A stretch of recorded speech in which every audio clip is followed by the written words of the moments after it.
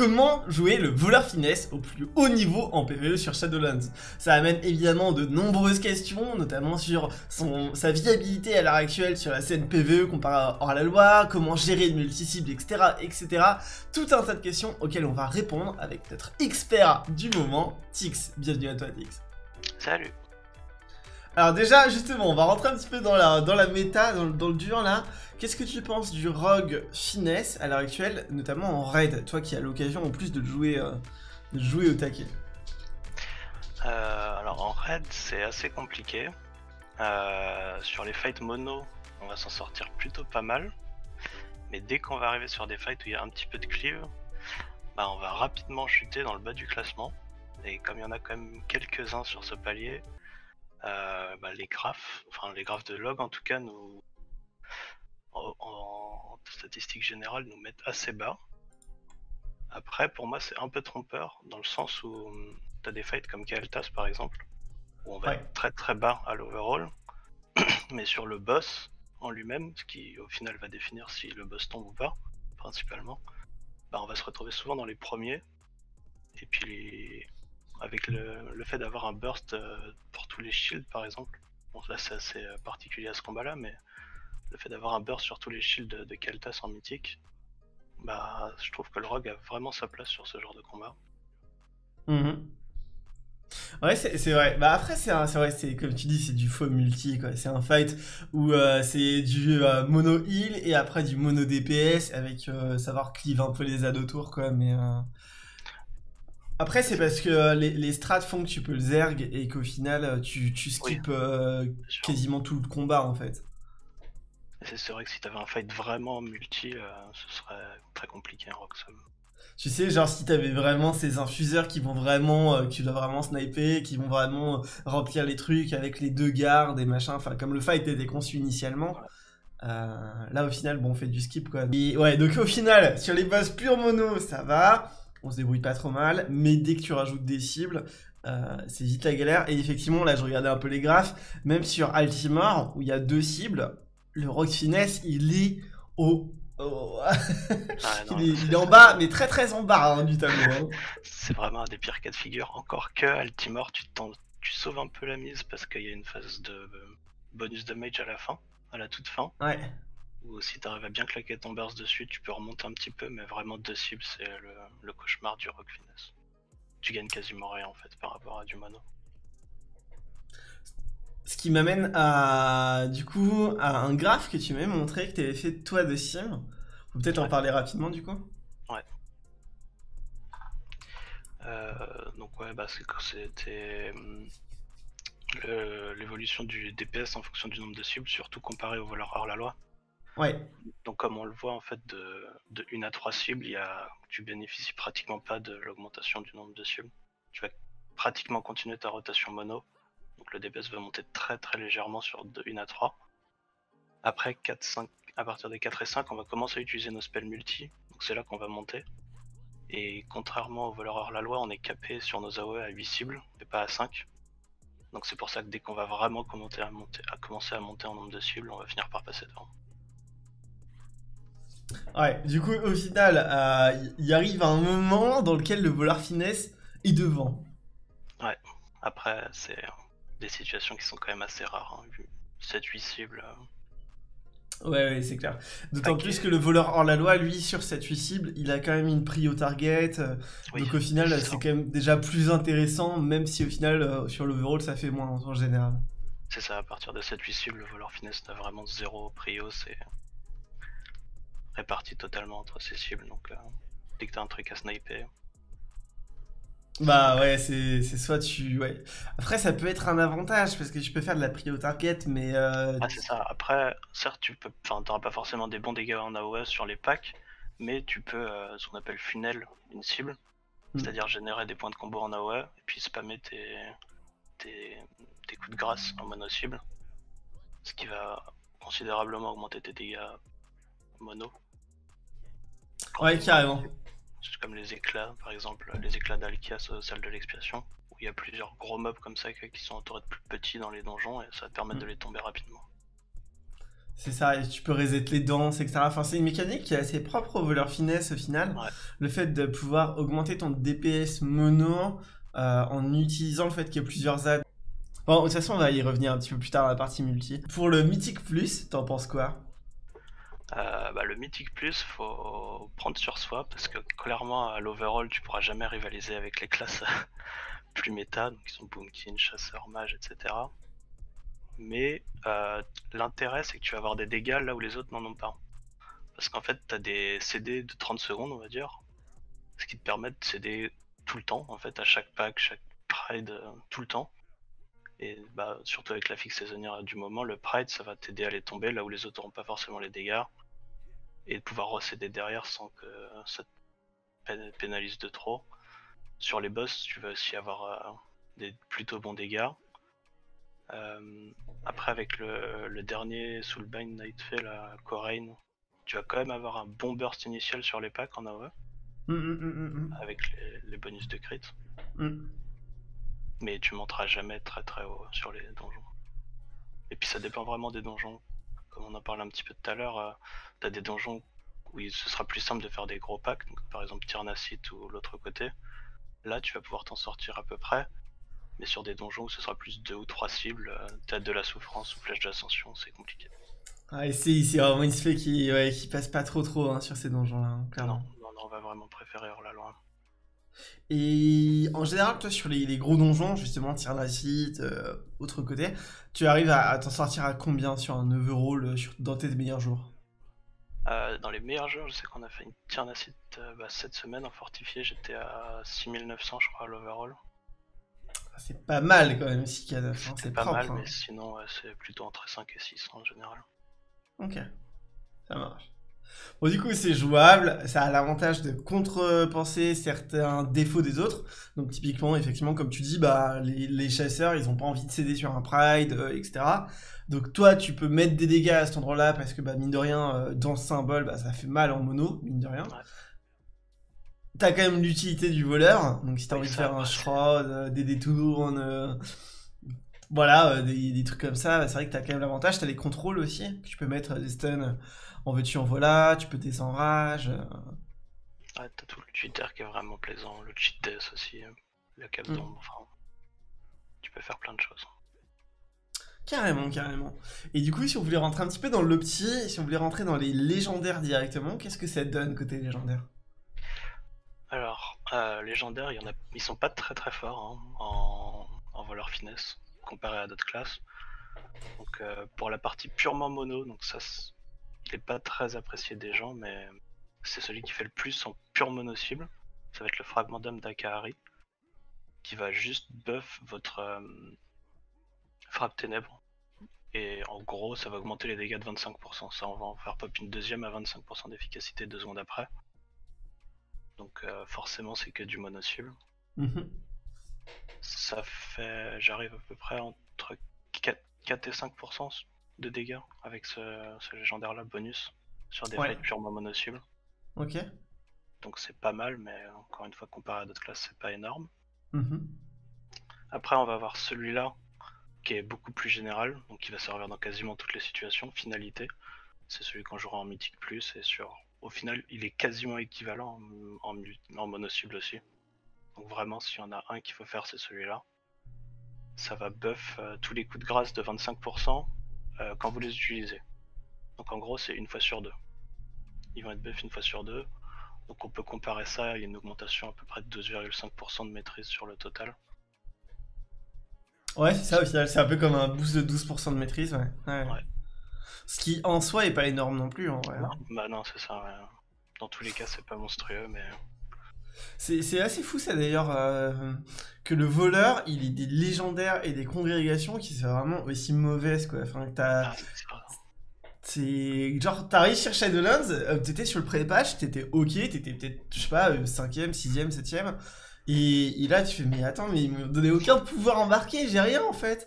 Genre euh, ah, ça fait assez peur pour le scaling aussi. Hein. T'as eu ce ressenti aussi? Oui, en plus, ça scale pas en plus. Déjà, c'est une classe qui joue polycrit. Donc, généralement, pour moi, c'est des classes qui scale moins parce que c'est des, stats euh, assez brutes de dégâts, tu vois. C'est pas genre. Euh, et, la maîtrise apporte pas tant que ça non plus. on en reparlera sur les points de stats, mais euh, ouais, le scaling en plus, enfin, je pense qu'ils vont s'en rendre compte et ils vont faire un truc. Hein. Bah, après, c'est vrai que l'aspect finesse, historiquement, elle a quand même été assez délaissée sur les derniers paliers. En PV, PVE en tout cas. On faut espérer qu'il y ait un petit geste de Blizzard, mais c'est pas sûr. Parce que c'est vrai que pour le moment, euh, les, les, modifs qu'il y a, elles concernent beaucoup l'aspect assassinat. Moi, j'imagine que tu check aussi les patch notes, mais euh, voilà, au moins ils font un truc là-dessus, ce qui est bien parce qu'elle était vraiment au fond du gouffre aussi, assassinat. D'ailleurs, je crois qu'elle est repassée devant, ou enfin ça se vaut en tout cas à peu près maintenant. ça se voit à peu près. Ouais, mais. Euh, ok, et donc ça, c'est les, les, seuls légendaires. Maître assassin, tu, tu vas jamais le faire en PvE bah, Maître assassin dans, en, en Mythique Plus, ça peut être pas mal. Euh, surtout sur des clés un peu plus basses, euh, en dessous de 15 je pense. Mhm. Dans le sens où tu auras plus d'uptime parce que les packs vont mourir plus rapidement et tu pourras refuser plus régulièrement. Ouais.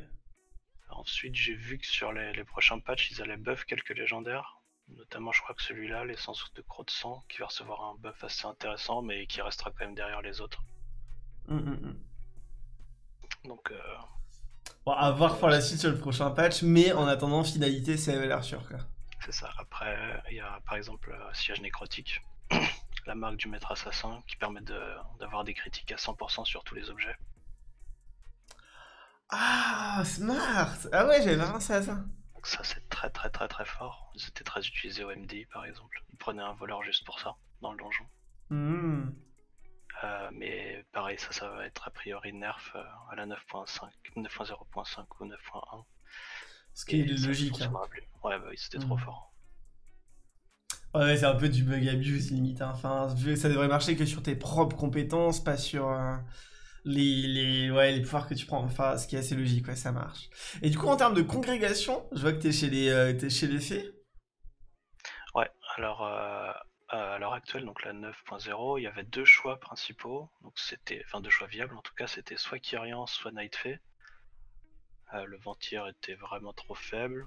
le Nécroseigneur. Alors le Nécroseigneur, c'était très une situation très niche. Je sais qu'il y a des très très bons joueurs de voleurs qui l'ont choisi, mais je pense que c'était principalement pour euh, ceux qui voulaient des, gros classements sur des Natrius mythiques. Parce qu'on pouvait avoir un très bon uptime, euh, parce que donc le, sort de Nécroseigneur c'est un dot qu'on va appliquer une fois et qui reste euh, sur la cible jusqu'à ce qu'elle repasse à 100% de vie. Donc sur les fights de raid très longs, ça pouvait éventuellement avoir un intérêt, et notamment sur Denatrius, parce que tu pouvais l'utiliser à la fois sur le boss et sur son épée. Mmh, mmh, mmh, Donc ça fait que tu avais un dot qui avait un très bon uptime, et puis je pense que c'était pour le buff de stats pour euh, buff leurs alliés plus qu'autre chose, mais c'est vraiment pas recommandé, à moins que vous sachiez vraiment ce que vous fassiez, mais je pense que Necroseigneur c'est pas une très bonne option. Euh, donc sinon, c'était soit Kyrian, soit Nightfay. Euh, donc la principale différence, c'était que Kyrian, pour moi, c'était plutôt la congrégation à prendre au début. Mm, mm. Avant le renom 30, en fait. Ouais. Et, et Nightfay s'est passé devant à, la suite, notamment à cause du dernier palier. Mm-hmm. Quand Nightfay, on a l'outil de, de Nia Bardan en mono-cible qui va être assez puissant. Et le, les, la frappe initiale en multi-cible. Qui vont faire que Nightfay passe devant dans tous les cas. Complètement, ouais. Du coup, au final, c'est vraiment pour les liens d'âme que tu vas sélectionner euh, tes congrégations chez le voleur. Là, en l'occurrence, bah, effectivement, c'est fort, 25% hein. de crit pendant 5 secondes sur les nouveaux. Et, euh, et le truc Bardan de Nia, au final, c'est bis sur quasiment toutes les classes aussi. Moi, je m'attends à un nerf hein, de ce conduit parce que. C'est vrai que quand on a vu euh, les sims de ça, ça paraît un peu élevé. Bah, en fait, il y a plein de classes, même Chavelem, du coup, c'est devenu bis de prendre fait à cause de ça. Donc, c'est le cas sur un Shadow Priest, sur Chavelem, sur Voleur Finesse, sur Chasseur, sur Booming. Enfin, tu, vois ce que je veux dire? Genre, Et puis en euh, plus, il y, a une grosse variance sur les dégâts du sort. Tu passes rapidement de 2% de ton dégâts totaux à 6%. C'est assez RNG. Hum, hum, hum. Donc, euh, il y a des chances que ce soit un petit peu nerf. Complètement effectivement, pour les Necrolords, bah, en fait, vu que les pouvoirs au final n'apportent pas grand chose, c'est pas déconnant parce que du coup, eux, ça leur permet aussi, par exemple, s'ils font des donjons mythiques, bah il y a un Necrolord dans le groupe ou euh, s'ils jouent pas avec un DK et pas avec un chaman, il y en a pas, tu vois, vu que c'est des. c'est moins représenté que fait parce que bah typiquement euh, fait euh, tu tapes dans n'importe quel DPS euh, un mage ah bah il est fait un chasseur ah bah il est fait un démoniste ah bah il est fait tu vois enfin bon et ça permet peut-être enfin c'est peut-être aussi dans cette optique là c'est genre en donjon bah ils peuvent activer des bannières nécrolord les machins comme ça. Ça peut être ça aussi ouais ça peut peut-être un peu aider mais bon c'est vrai que c'est pas c'est pas recommandé je pense à l'heure actuelle. Ouais, c'est ce qui sime le plus de toute façon les, les, les faits à l'heure actuelle, on est d'accord? Ouais. ouais. Et du coup, si les liens d'âme, imaginons du coup tu sélectionnes fait, qu'est-ce que tu vas favoriser comme, euh, comme lien d'âme Du coup, chez les faits, bah, ce que tu l'as montré, du coup, c'est celui-là en mono et l'autre en multi Ouais, c'est ça. Euh, donc en termes de lien d'âme, en monosul en tout cas, le plus utilisé ça va être celui-là, l'exécution planifiée, qui va vous faire gagner 6%, de, enfin, donc c'est 6%, 213 de mhm. chance de critique pendant votre burst. Donc comme le critique est une stat assez forte de, manière générale, 6% euh, pendant le burst c'est assez intéressant. Mhm. Euh, ensuite, les autres qui peuvent éventuellement être intéressants mais qui sont assez faibles, euh, on a le staccato au stylet, au stylet pardon, qui va réduire le, CD de votre burst.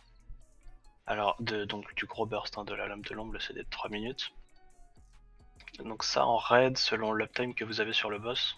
Parce que du coup il faut que vous puissiez taper en mêlée dessus pour que ce soit efficient. Euh, donc si vous savez euh, la durée du combat à l'avance, donc si par exemple vous savez que le combat va durer environ 5 minutes, ça va vous permettre d'utiliser l'âme de l'ombre une fois de plus sur le combat. Mais faut pas trop l'utiliser à l'aveugle. Si vous savez pas combien de temps va durer le combat, je le recommande pas parce que vous allez peut-être perdre tout simplement un conduit si vous êtes sûr de pouvoir avoir une, lame de l'ombre de plus sur le combat, ça peut être intéressant de le prendre. Après, encore une fois, comme le l'outil Bardan est très très fort, euh, c'est pas évident de le caler dans l'arbre. Je sais pas si ça vaut le coup de remplacer l'exécution planifiée, même si vous avez une lame de l'ombre en plus. Mais ça peut éventuellement servir.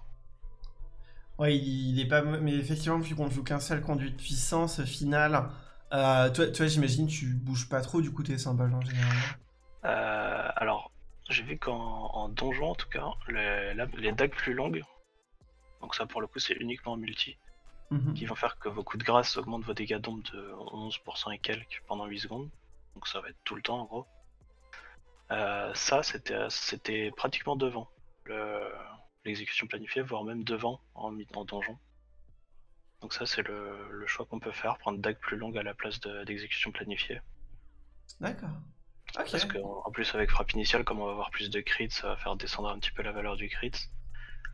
Et du coup, dague plus longue a tendance à passer devant. Mais ah c'est bah, moi à savoir ça. Hein.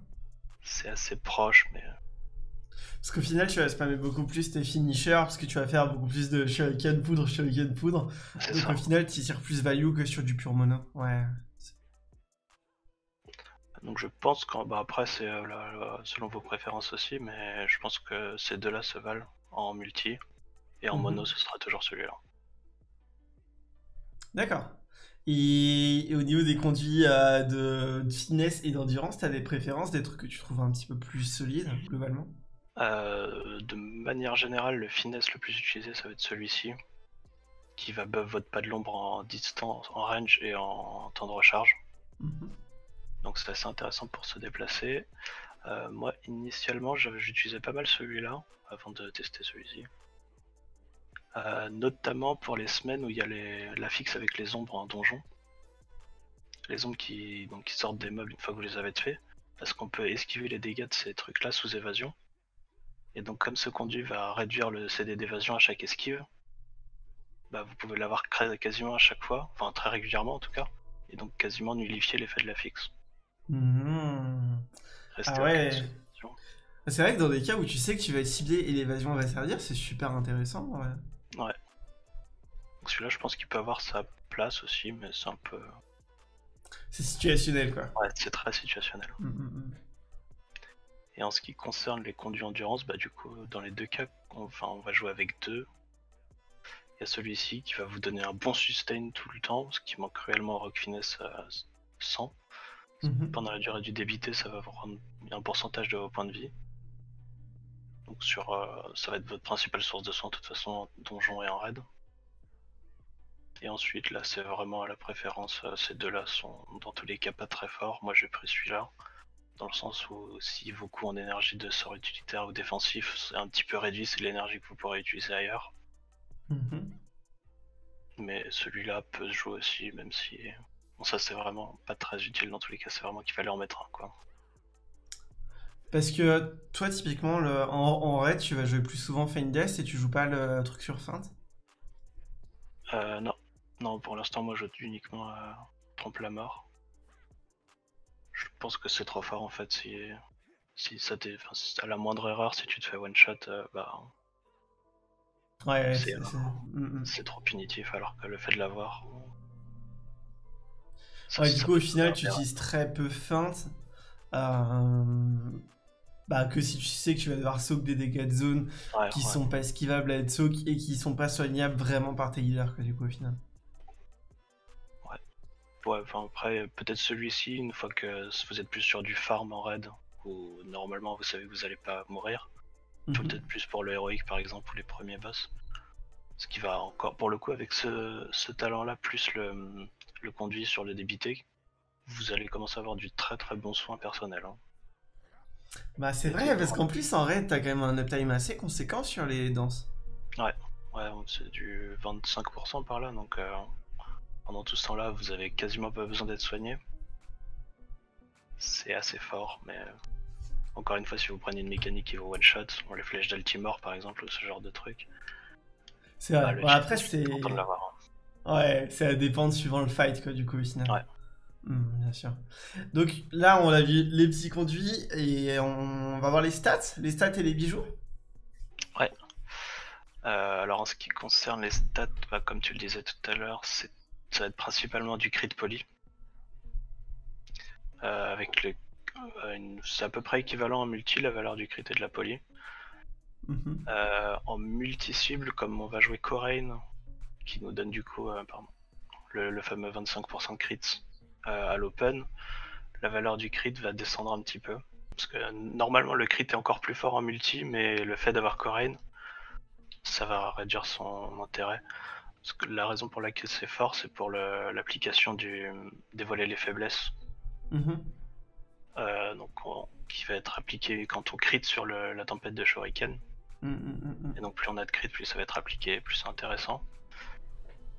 Donc ouais, de manière générale, vous allez chercher un équilibre entre crit et poly. Après, en mono cible, la hâte est intéressante aussi. Et, euh, par contre, la maîtrise, on va vraiment pas en vouloir en mono. Et à l'inverse, en, multi, on va pas vouloir de hâte et on peut par, par contre monter un petit peu en maîtrise. Ce qui est assez marrant parce qu'au final, la maîtrise, on pourrait s'attendre à ce que ce soit plus haut que ça encore en multi, vu qu'on va spammer limite un, un finisher sur deux. tu vois, et, et genre, même si tu spammes un finisher sur deux, avec l'état actuel de la maîtrise, c'est même pas spécialement plus intéressant que du crit ou de la poly, quoi. Voilà, après, moi je sais que j'ai Ah, ok. en étant assez bas. J'avais Ouais. très peu de maîtrise, donc euh, finalement, elle commençait quand même à prendre de l'importance hein, en donjon. Ah C'était oui, quand même assez puissant, mais c'est parce que j'étais assez bas. 1,86, ça, c'est ça? Ouais, c'est ça. Donc ça, c'était en utilisant finalité, donc le légendaire qui va du coup euh, Hmm, augmenter les dégâts des coups de grâce, donc de la maîtrise indirectement. Et donc ouais, en, en multisub, ça va commencer à être assez intéressant comme stat la maîtrise finalement. Et, ouais, et en patchwork, tu as, du coup, vu que tu as fait la même chose? Ouais, donc là c'était, comme je disais, bah, crit poly vraiment devant, la hatch juste derrière, et la maîtrise on n'en veut pas. Ah Ouais, t'en veux vraiment pas. hein. Ouais, donc au final, ça te fait faire différentes optis, plus Ouais, ou moins. un petit peu. Après, de toute façon, on part sur une base commune de crit poly euh, le plus Ouais, possible. c'est c'est la valeur sûre qui te servira. Donc, En plus, euh, même quand tu fais du multi, euh, par exemple en Mythic Plus ou même en raid, t'as quand même souvent une prio target à un moment ou un truc Ouais. mono à tomber où tu vas utiliser moins ta maîtrise et plus le reste, quoi, au final. Donc, euh, Bah, le truc, c'est quoi, la, la hâte, on peut s'en passer un petit peu plus. parce- Enfin, après, ça, c'est un. Il y a deux façons de le jouer en, en- en donjon. Mais si tu prends ce, ce point de talent-là, qui va faire à chaque fois que tu actives ta danse, tu vas récupérer donc 75 d'énergie en tout. Ah non, Mhm. pardon, 25. 25 d'énergie.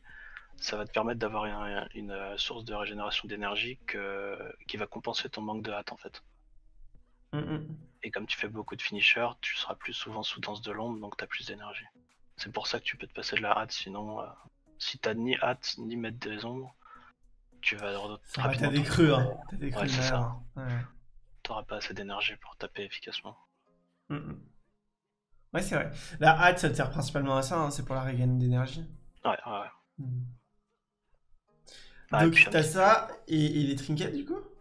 Alors les trinkets, euh, bah moi j'ai plutôt de la chance, on va dire. Oh, Comme let's beaucoup de go J'ai eu deux fois dans mon coffre déjà. Ah oui, d'accord. Donc il y a celui-là qui va être très fort partout, euh, des dégâts pas RNG, très fort en mono, très fort en multi. Mm, mm. Donc celui-là on va vraiment vouloir aller le chercher. Euh, ensuite, euh, il y a beaucoup d'actifs dans le raid qui vont être intéressants. C'est ici. Genre, ouais, déjà...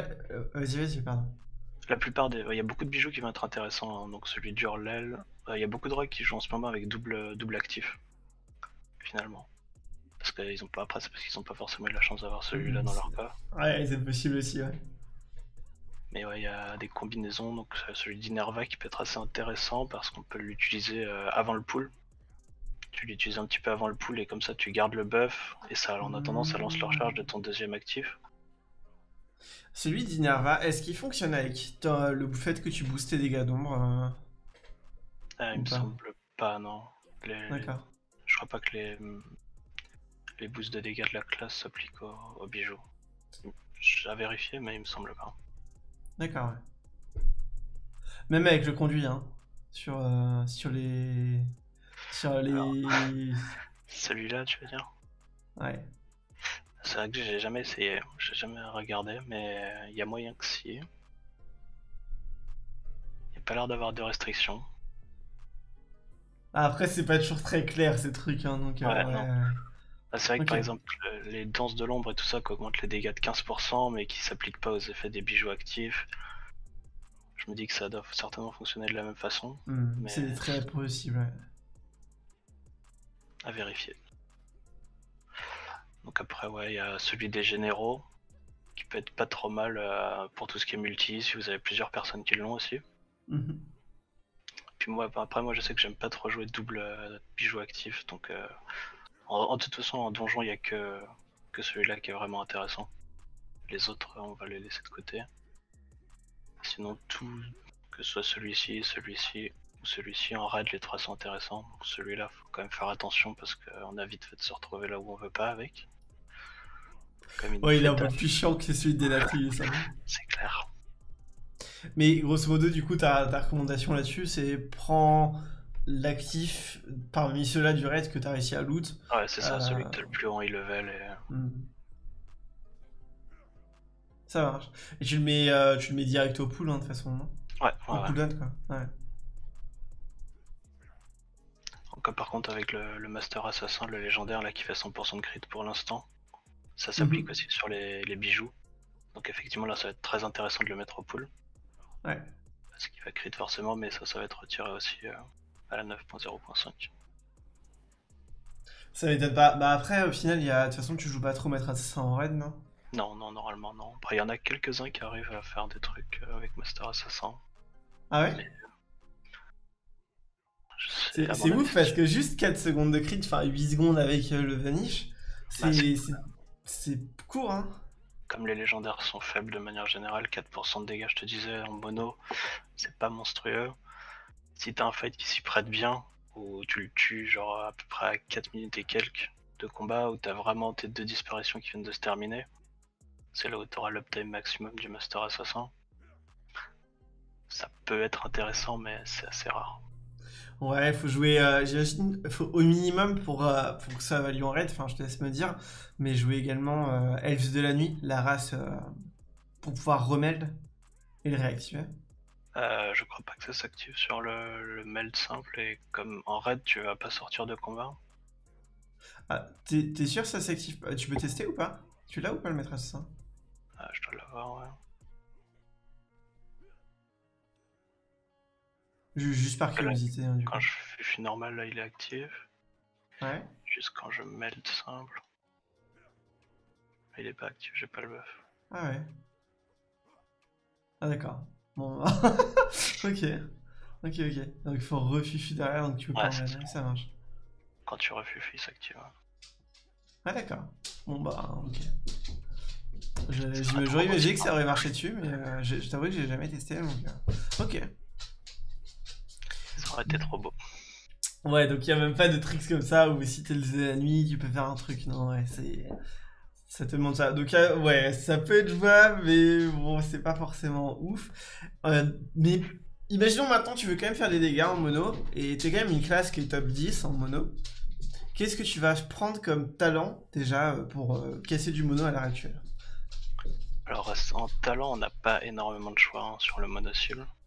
Ça mhm. va être celui-ci pour la première ligne qui va faire que vos générateurs d'énergie mono-cible euh, ont 15% de chance de frapper à nouveau. Donc euh, quand on dit frapper sur celui-ci, sur celui c'est à la fois faire les dégâts et générer les points de combo. Là où d'ailleurs ça je l'ai pas mentionné tout à l'heure, mais à Kahari, euh, la deuxième frappe ténèbres qui va pop deux secondes après, ça va pas générer de points de combo, ça va être uniquement les dégâts. Donc là par contre on aura à la fois 15% de chance d'avoir donc deux fois plus de dégâts et deux fois plus de points de combo. Celui-ci on... Les deux autres sont pas sont jamais joués en monocio. Tu traques pas spécialement les procs de maître d'armes? Point euh, d'interrogation. Euh, non, bah c'est juste que tu le verras parce que tu gagneras deux fois plus de points. ouais, c'était full combo quoi. c'est ça. Mais non, pas plus que ça.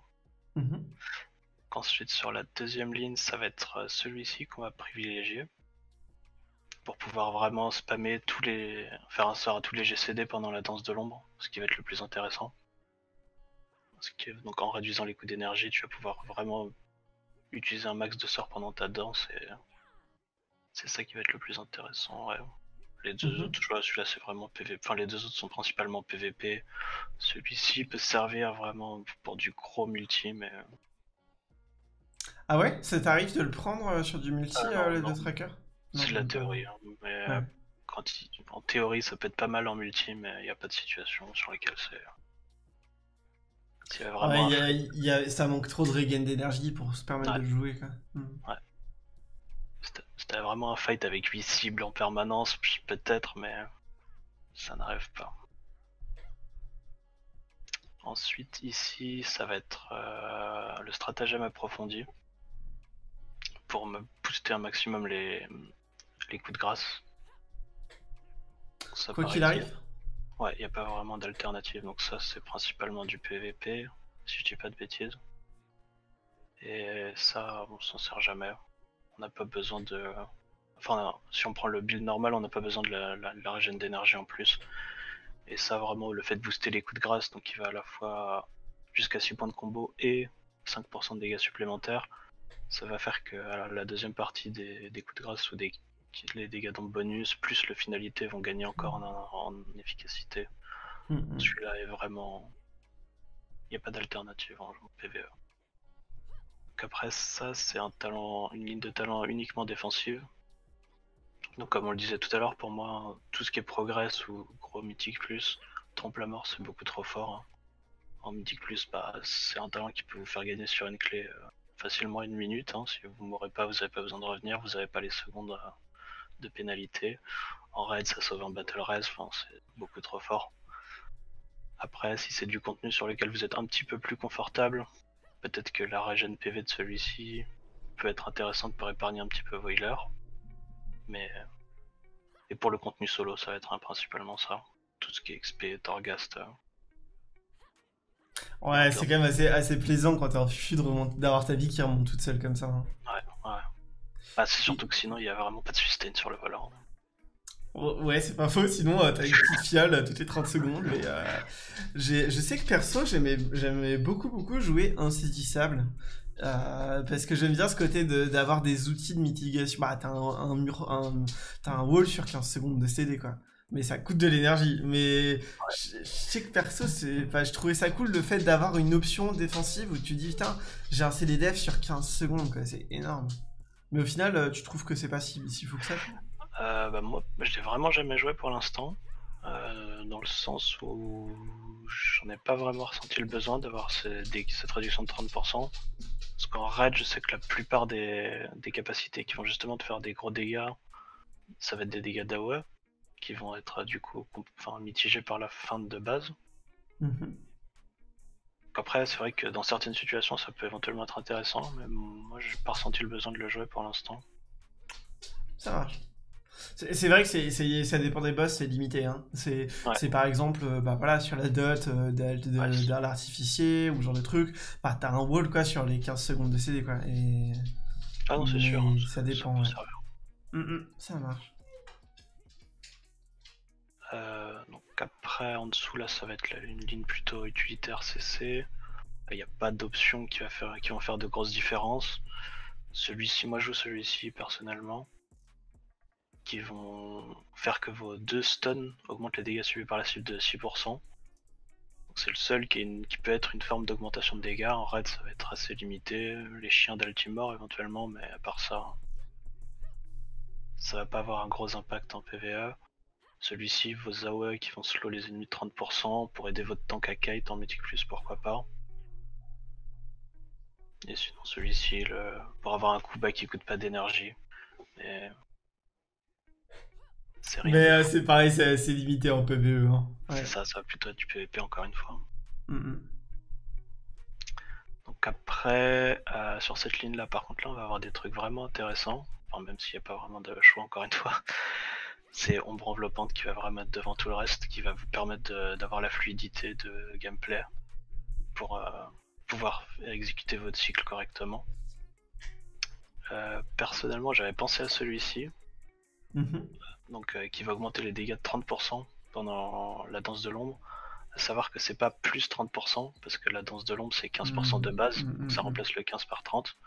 Je me disais éventuellement sur des combats comme Fange-Point qui sont très orientés sur burst pendant une période. Donc j'avais Bon, a priori, ça reste quand même derrière. Ça reste quand même derrière, même sur un fight qui est, qui est le fight par excellence où ça pourrait marcher. Bah, le problème, c'est quoi? En fait, si tu utilises celui-ci, tu n'auras pas les deux charges de danse de l'ombre, donc tu vas perdre pas mal au pool. Et tu vas. Ça réduit. Enfin, tu récupères moins rapidement le CD de tes danses, donc tu n'auras pas forcément à chaque fois synchronisé avec ton symbole de mort. Ça pose trop de problèmes. Après, euh, hmm. ça peut se tester, hein, mais. Euh, moi, j'ai eu l'idée. Je me suis dit peut-être, mais a priori, j'ai demandé ah, en ce moment, il le joue pas mal en PVP pour euh, les côtés un petit peu cheesy, euh, one, one, one, shot. Mais ouais, ouais c'est vrai qu'en PVE, le, fin, juste 15% comparé à tout ce que Ombre, l'autre te fait, rajouter un stack, rajouter des CD, etc. Dur. le truc, c'est que tu gagnes 15% de dégâts sur tes danses de l'ombre, mais celui-là, tu gagnes plus de danses de l'ombre qui font 15% de dégâts. Bah ouais, donc c'est idiot quoi c'est vrai que, à moins qu'il y ait un petit buff à celui-ci qui passe, je sais pas, à 40 ou je sais pas quoi, mais hmm. pour l'instant, c'est vraiment celui-là qu'on va choisir. Hmm, hmm, Et donc, sur la dernière ligne, c'est là où on commence à avoir des choix. Parce que pour l'instant, sinon, c'était assez linéaire. Bon, par contre, ouais, je sais pas si pour l'instant, t'avais dit plutôt pour le mono. Bah, en... je pas, au final, t'es parti sur les deux. De toute façon, c'est vrai que l'arbre de talent, euh, il te laisse très peu de choix entre mono multi au final. c'est vrai que finalement. Euh, au final, euh, vas-y. Donc, bah là, pour le mono pur, ça va être ça 100% du temps. Ça, y a pas de discussion possible. C'est récupérer de l'énergie à chaque fois que tu fais une danse de l'ombre, bah, ça va te permettre d'être beaucoup plus fluide sur ton, ton DPS, pouvoir utiliser tes sorts en CD. Après, celui-ci, ça, donc, ça va être plus en mythique plus, euh, qu'apporte un réel intérêt en termes de DPS. Euh, ça va être une de premières sources de dégâts.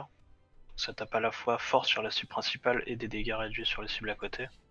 Et comme on va avoir tendance à spammer beaucoup les finishers en montant plus rapidement les points de combo, et que le temps de recharge de cette technique est réduit pour chaque point de combo dépensé, on va pouvoir le faire assez régulièrement en Mythic Plus et c'est vraiment une bonne option. Le seul problème de ce talent-là, c'est que du coup, bah, on n'a plus celui-là forcément, et du coup, on n'a plus la régène d'énergie, et vous allez avoir besoin de compenser en montant un petit peu la hâte. Mais ça reste quand même le petit, du coup. Je pense que c'est ce qui fait le plus de dégâts overall en mm. Mythic Plus. Après, c'est vrai que selon les classes avec lesquelles vous jouez, ça peut être intéressant d'avoir plus de mono et laisser le multi à ceux qui font ça bien. Mais si vous voulez être le plus haut possible en overall, je pense que celui-là est la, meilleure solution actuellement. Hum, hum, hum. Et après, même celui-ci commence à, faire parler un petit peu. Ah ouais? Si vous êtes euh, primade avec votre tank, que, vous savez quand est enfin, quel pack il va pull, et que vous arrivez à jouer autour, je sais que il y, en a qui commençaient à, en parler. Je l'ai pas encore testé personnellement, mais je pense qu'il y a moyen de faire quelque chose avec. Euh, j'ai pas bien saisi pourquoi, tu, pourquoi il faut se mettre d'accord avec le tank sur les poules par rapport à ce talent-là? Bah, c'est-à-dire que comme c'est une minute de CD et que là pour le coup c'est pas réduit, si on poule un pack de deux mobs, bah le, hmm, le, talent a, zéro intérêt. Donc, euh. Ouais, d'accord, ouais. Pour toi, il évalue à partir de combien de cibles du coup? Euh, Je sais pas trop. comme je te dis, je l'ai pas encore testé, juste j'ai lu des trucs dessus, mais ah, même je sais que par exemple ils en parlaient sur Franchement, parce que du coup tu vas l'avoir sur tous les, piliers. Ah. Et, peut-être qu'il y a quelque chose à faire, mais bon. Après c'était surtout de la les théorie. secondes pendant 4 secondes. Ça faire bon. Tu régénères un point de combo en plus, mais. Ouais. C'est léger, hein. je pense que c'était surtout de la théorie et que ces deux-là, ça reste quand même les valeurs euh, sûres du moment. C'est pour essayer d'en faire quelque chose, quoi, mais euh, ouais. ouais. d'accord, Ça marche. Et du coup, si on arrive dans la partie rotation, si on arrive sur. Euh, tu vois là, t'arrives vouloir finesse, t'as envie de casser du buzz, t'as envie de casser Shriekwing, t'as envie de casser Hurlel direct, voilà, t'arrives, t'es tout frais, t'es en voleur finesse, t'es sur ta spé mono cible. Euh, il n'y a pas, enfin, il a pas vraiment de rotation à proprement parler. Ça va surtout être des, priorités en fait. Donc, ce qu'on va vouloir faire, c'est avoir un maximum de d'uptime sur euh, donc ces techniques de maintenance, on va dire. Donc, tu as à la fois le débité et la rupture. Donc, ils doivent être le plus souvent possible sur euh, ta cible. Et en dehors de ça, donc ça, c'est ce que tu vas vouloir faire hors de tes danses de l'ombre. Et pendant les danses de l'ombre, tu vas uniquement vouloir spammer des, éviscérations. C'est assez complexe à, expliquer. Non, c'est logique. Du coup, tu as, deux trucs à maintenir, deux uptime. Un sur toi-même, le débité, et l'autre qui est la rupture. La rupture et le débité, c'est des trucs que tu vas faire en dehors de tes phases de burst, entre guillemets. Et tes micro-bursts sont tes danses de l'ombre, et plus euh, symbole, plus machin. Et euh, ok. Et donc l'idée pour faire des dégâts, ça va être de synchroniser un maximum tes CD offensifs, donc ils sont à la fois danse de l'ombre et symbole de mort. Mhm. Donc le symbole de mort, c'est vraiment quelque chose qu'on va jamais vouloir délayer. Ça va être vraiment dès qu'il est up, faut qu'il parte. Sinon vous allez perdre du DPS assez rapidement. Et donc pour ça, faut anticiper un maximum. Toujours garder une, stack de danse de l'ombre pour votre symbole de mort. Faut vraiment pas se presser. Euh, parce que si on se retrouve à le symbole de mort qui revient de CD et que vous avez aucune, aucune charge de danse de l'ombre, bah là ça, ça va être très pénalisant. D'ailleurs, c'est euh, au final, je trouve c'est une des trucs qui fait que l'aspect finesse, tu peux plus rapidement perdre en DPS. C'est si tu te rates là-dessus. Ah, c'est ça, c'est les erreurs que moi je faisais beaucoup au début et qui sont de toute façon très faites au début. C'est faut, faut pas se presser quand t'es hors de danse de l'ombre, faut vraiment réfléchir, est-ce que mon symbole revient bientôt? Si oui, j'attends, je relance pas la suivante, enfin je j'appuie pas sur mon bouton, j'attends, c'est pas grave si c'est hors CD. De toute façon, quand on est hors de danse, on fait pas de dégâts. Le but, ça va être juste d'essayer d'entretenir ces, ces stress sorts de maintenance, donc remettre le débité, remettre la rupture, et une fois que le symbole revient seulement, là on repasse vraiment sur une phase de dégâts. Ça marche. Et du coup, si tu nous montres un, open, tu le fais dans quel ordre ton exec euh, sur l'open toi? Euh, alors l'open ça, diffère un petit peu, euh, donc notamment à cause du maître d'armes qui va générer plus ou moins de points de combo, donc selon si vous avez de la chance. De manière générale, on va vouloir d'abord euh, utiliser la frappe ténèbres pour générer les premiers points de combo. Ensuite, on va utiliser un premier débité, parce que le, le débité bénéficie d'aucun sort d'augmentation de dégâts. Ensuite, on va mettre les danses de l'ombre, enfin les lames de l'ombre, pardon, utiliser le Night Fay et euh, le Trinket pour moi. Parce que comme ils ont le même CD, j'ai bait les deux sur une macro. Donc là c'est vraiment faussé parce que du coup on génère des points de combo euh, à la Takoto. Mais là normalement quand on a fait ces premières techniques on va être à deux points de combo à peu près, voire 3. Après on va vouloir utiliser le symbole et rentrer en danse. claquer un premier, une première frappe ténèbres pour qu'il va nous faire passer environ 6 points de combo. Là on utilise la rupture. Donc à ce moment-là on aura à la fois rupture et débité de up. Et après on passe sur le cycle purement mono-cible où on va spammer les, les frappes ténèbres dans, sous danse de l'ombre. Jusqu'à ce que la danse de l'ombre se termine. Euh, une fois que c'est fini, normalement, le... donc ça c'est propre au Night Fay, mais le Dot Night Fay va se terminer. Ce qui va nous donner la possibilité d'utiliser un sort comme si on était en Fufu. Ordonnance de l'ombre. Donc là on utilise la frappe ténèbres euh, offerte par le Night Fay. Moi j'utilise ma disparition à ce moment-là aussi. Pour faire du coup deux frappes euh, ténèbres hors danse et hors tout ça. Ensuite on utilise la deuxième danse et normalement, la deuxième danse se termine à peu près en même temps que la fin du CD Lame de l'ombre. D'accord, donc tu fais deux danses sur ton open. C'est ça. Euh, j'ai une question par rapport à, l'ordre de Xek. Euh, tu lances le pouvoir d'effet sans le faire, sans être sous, sous danse de l'ombre? Tu le lances avant? euh, Ouais, moi je le fais comme ça. Après, c'est vrai que j'ai vu beaucoup de variantes. Euh, quand tu regardes les logs, c'est d'une personne à l'autre, tout le monde fait des trucs différents. J'ai pas réussi à trouver. Je pense que c'est assez minime. Mais... Ouais, parce que du coup, il bénéficie pas de l'augmentation de dégâts de... de. de ta danse, quoi. Non, non, c'est vrai. Versus, ça te fait un GCD dans la danse, donc je sais pas ce qu'est le mieux, hein, justement. Hein, je... Bah, le truc, c'est que les, les, dégâts du, du septicémie, là de base vont pas être euh, monstrueux. C'est plus le dot qui va faire mal. Ouais, mais ça, bénéficie aussi de l'augmentation de. Ouais. De tes. Ouais. Le dot va monter, les dégâts du dot vont monter une fois que tu seras sous danse de l'ombre et symbole. Donc, euh, pour moi, il n'y a pas vraiment d'intérêt à le faire une fois que tu es en danse. Mais la question, c'est plus euh, est-ce que tu fais l'âme de l'ombre avant ce petit semi ou après? Ça. Mais du coup, je te fais. Ah, attends. On, est d'accord que ça, ça te fait faire plus de combos sur semi quand tu le mets, non? Ouais, ouais, ouais. Hmm. pour moi, tu le mets quoi qu'il arrive avant, quoi. Ok, mais dans, dans ce tu dis que ça change pas grand chose, non? Non, bah, c'est. Après, c'est. Ça va être. Le, le, changement va être assez minime de toute façon, mais. Ce qui est important, c'est de le faire avant pour bénéficier de la maîtrise, quoi qu'il arrive sur ton burst. C'est ça, c'est hmm. si on joue Nia surtout. Hmm. Donc euh, avec ce truc-là, on gagne euh, énormément de maîtrise. Et donc ça, hmm. par contre, on veut le buff de maîtrise un maximum pendant toute la phase de symbole pour avoir des grosses éviscérations euh, au maximum. Ça marche. Donc, si on devait... Euh, des trucs à faire gaffe également. Donc tu disais par exemple, une fois que tu as fait... Enfin, tes symboles vont revenir, il faut toujours que tu aies une danse de l'ombre. Ouais. Est-ce qu'il y a d'autres trucs dans ce genre-là où tu dis, euh, par exemple, sur au niveau de la gestion de l'énergie, est-ce que tu dis, tiens, je vais récupérer euh, dans ce, dans symbole, euh, il faut que je sois déjà très bas en énergie parce que je sais que j'ai mon talent, j'ai ma danse qui, enfin mon symbole qui m'ont redonné de l'énergie. Est-ce que tu fais de l'énergie pooling, genre où tu vas garder ton énergie pour les trucs en particulier? Est-ce que tu fais ce genre de trucs? Pour la danse de l'ombre, donc si vous l'utilisez sans le symbole, c'est recommandé d'attendre d'avoir 60 d'énergie, enfin, ou de faire en sorte d'avoir 60 d'énergie en tout cas, quand vous activez la danse.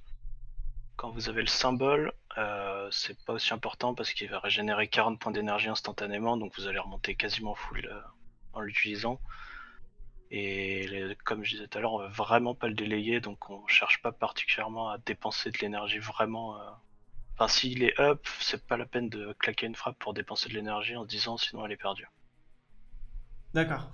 Ouais, Donc la, la, recommandation que tu as là-dessus, c'est euh, si tu lances une danse de l'ombre seule, au moins 60 d'énergie. Ouais, ouais c'est ça, parce que sinon, vous risquez d'être à court d'énergie. Parce qu'en fait, le, le truc qui compte vraiment, c'est pendant une danse de l'ombre, ce qui dure 8 secondes, normalement vous pouvez caster 8 sorts. Donc il faut vraiment que ces 8 sorts partent à chaque danse de l'ombre, sinon vous allez perdre. Et, ta politique de gestion des points de combo pendant, euh, par exemple, ton burst, tu dumps à 4, ou tu dumps à 5, tu dumps à 6, euh, tu, tu fais comment en fonction de tes frappes ténèbres hein? Ah bah ouais, ça c'est assez compliqué, parce que euh, donc il y a quand même la mécanique en valeur finesse qui... c'est les... Techniques de l'ombre, c'est ça? Non. ah oui, si c'est ça, oui, pardon. Oui. C'est ça, donc tes attaques auto ont une chance de générer un point de combo? Hum, hum, hum. Donc c'est là c'est traqué par cette Wikora là. Donc à chaque attaque auto tu montes de 1 et donc quand t'es à 5, t'es sûr. À chaque fois, c'est tu gagnes en pourcentage et plus t'es haut, plus ça va proc. Mmh. Donc si tu sais que t'es à 4 points de combo et que tu commences à être à 4 points sur la Wikora, donc t'es quasiment sûr d'avoir ton cinquième, tu peux attendre, mais d'une manière générale, on veut pas dump à 4 comme on prend le, talent euh, stratagème approfondi, c'est 5 ou 6. Après, si vous êtes à 4, ça peut valoir le coup d'attendre un demi GCD, enfin d'être sûr que vous gagnez le cinquième avec euh, le, la technique de l'ombre. T'arrives à le traquer efficacement et l'utiliser efficacement, toi? C'est. J'essaye. C'est pas, c'est vraiment pas simple parce que déjà la, la Wikora, on a fait ce qu'elle peut, mais il y a quand même une grosse part de RNG. Hein. Mais ouais. Bah. C'est plus de la frustration dans le sens où ça proc une fois que t'es à 6 quoi. Ah ouais, ouais, c'est clair. ah shit. Ah merde, mais en même temps, tu peux pas réellement, à part dans ces cas-là où tu dis, ok, je vais attendre une microseconde, euh, ça récupère mon énergie, etc. Euh, il y a plein de cas dans lesquels euh, c'est une ah, perte de DPS de vouloir le gérer en plus, tu vois. C'est ça, tu peux pas te permettre d'attendre dans tes danses de toute façon. Donc, c'est plus justement quand tu es en, période de maintenance, tu sais que tu vas arriver bientôt à 6 points de combo, t'attends que ça proc, et là tu claques ton truc plutôt que de gaspiller une attaque sournoise et tu la fais après. Complètement d'accord avec toi. Ouais, quand, quand t'es en, en. Ça s'appelle ça en, période de maintenance, c'est ça? Ouais, je sais que j'ai vu ça. quand je. Dans le sens où tu appliques tes sorts qui font pas de dégâts, quoi. Mhm. Ouais, ouais, non, mais je vois bien l'idée, c'est marrant. Mais effectivement, dans ce cas-là, bah, t'as vraiment des creux et t'as vraiment le temps, tu vois. Genre, t'as Bon bah alors, euh, bon bah tiens, je vais regarder ce qui se passe sur moi. ah, je vais avoir un point de combo, ok. le seul truc pendant ces phases-là, c'est de s'assurer que tu montes pas à 100 d'énergie, quoi. Mais euh, à part mm. ça. Et du coup, euh, toi, c'est dans ces phases-là où tu refresh rupture. Hein. Ouais, c'est ça. Donc là, vraiment, ça par contre, c'est quelque chose qui va pas forcément être toujours évident selon les fights.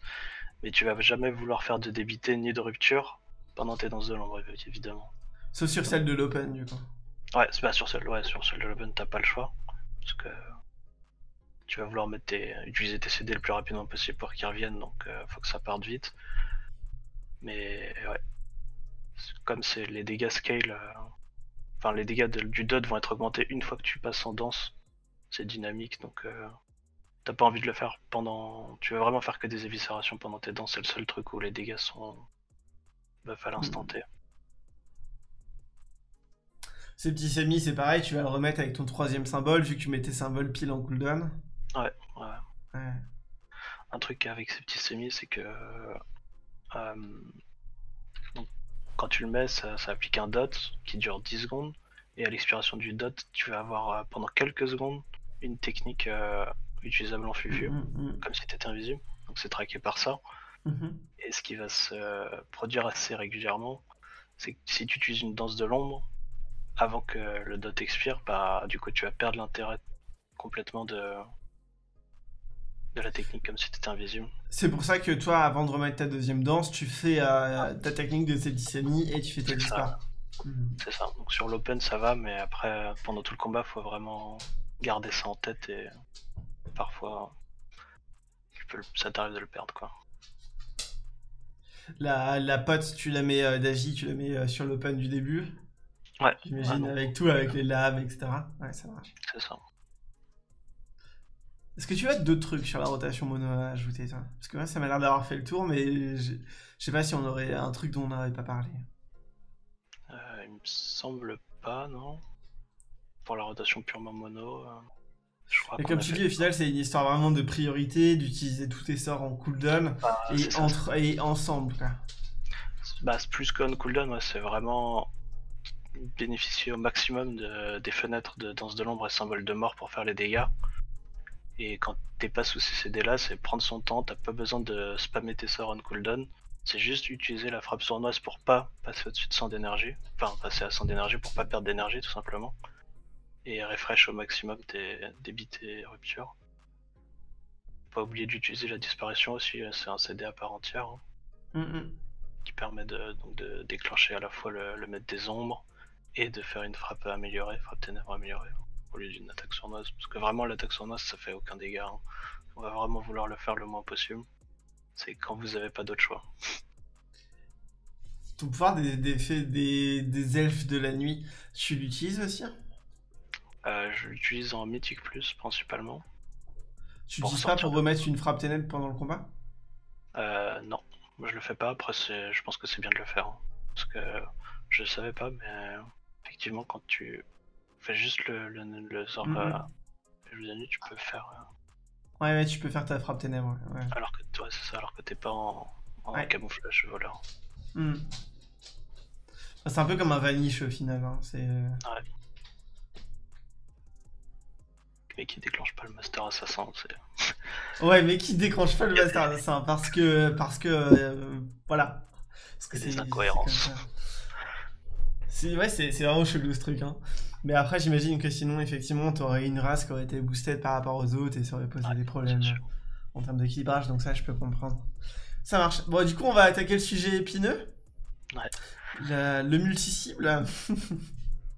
Là, c'est assez compliqué, moi, je trouve. J'ai vraiment un... C'est assez complexe dans le sens où, pareil, c'est des priorités, mais qui vont évoluer en fonction du nombre de cibles, de la durée du combat. Donc euh, dans certains cas en Mythic Plus c'est très compliqué de faire ça de façon optimale. Donc plus que du multi-cible, ça va être euh, un cycle qui va s'adapter au, nombre de cibles qu'on a. Donc sur deux cibles, les seules différences, c'est qu'au lieu d'utiliser la frappe sournoise, on va utiliser la tempête de Shuriken. Pour générer deux fois plus de points de combo du coup. Et en dehors de ça, il va y avoir très peu de différence.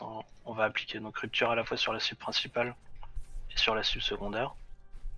Encore que je sais que sur Altimord, qui est donc le principal combat de raid euh, où on a deux cibles comme ça, euh, pendant tout le burst, donc pendant toutes les lames de l'ombre, on va même pas changer de sub pour mettre la rupture sur le chien. Ah, t'as même pas une double rupture. Non, c'est ça, ça vraiment. Pendant tout l'open, on burst en mono. Et après, une fois que c'est terminé, on commence à faire des shurikens et mettre rupture sur le deuxième. Ça fait mal au cœur quand même. Hein. Ah, c'est ça, donc C'est comme on voyait sur le graphe tout à l'heure, entre une et deux cibles, l'augmentation elle est ridicule. Hein. Ouais. Ah ouais, bah parce que du coup, si c'est qu'à ce moment-là. Euh, ok. Tu vois, naïvement, euh, j'avais pas checké, hein, parce que j'ai j'ai pas été jusque-là dans le progrès avec mon voleur finesse. Euh, J'étais vite passé en moine, mais du coup, naïvement, moi je mettais double rupture sur les deux cibles, quoi, tu vois. Bah après pendant tout le reste du combat oui, mais c'est vrai que.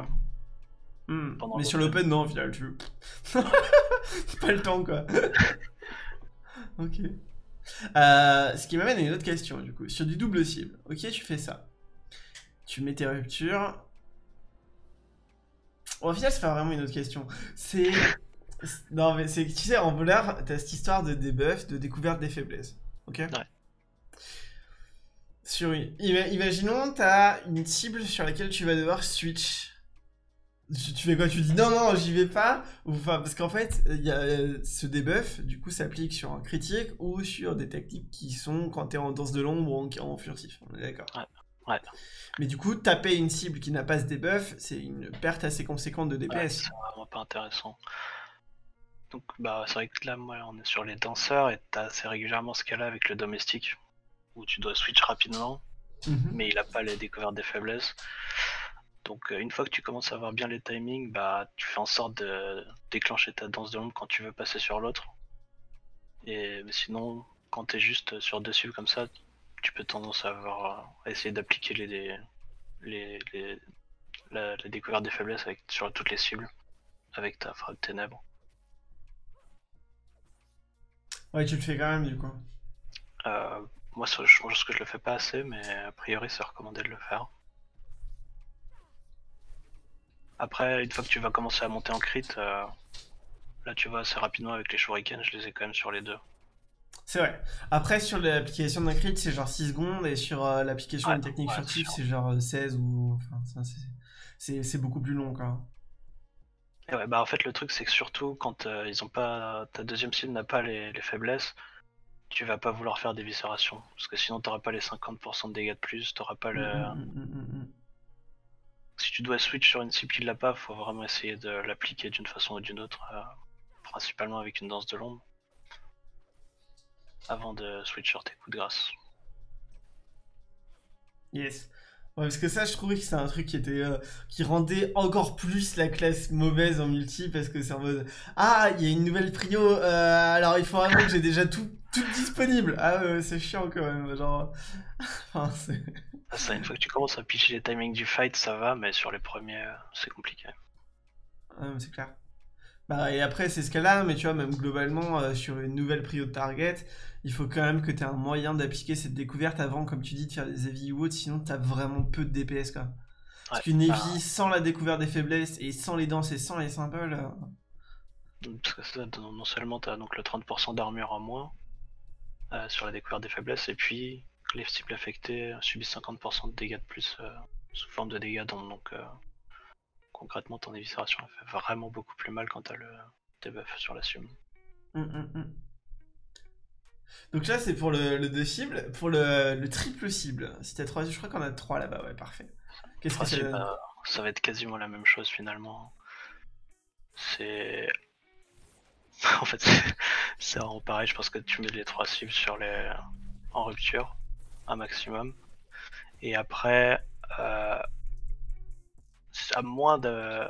Ce qui va être compliqué, c'est que là, trois cibles, c'est vraiment le truc ingrat où ta poudre noire fait quasiment les dégâts de ton éviscération, fait un tout petit peu plus, mais il y a quand même une forte probabilité que tu pas les découvertes des faiblesses sur tes trois cibles. Mm. Donc euh, si t'as pas les découvertes des faiblesses sur les trois cibles, c'est plus rentable de faire éviscération sur ta cible qui l'a. Mm. Ça c'est vraiment le, fight, le, truc horrible hein, comme euh, configuration trois cibles quasiment pareil en mono cible sur la, cible principale. S'il y a une cible à focus, ça va.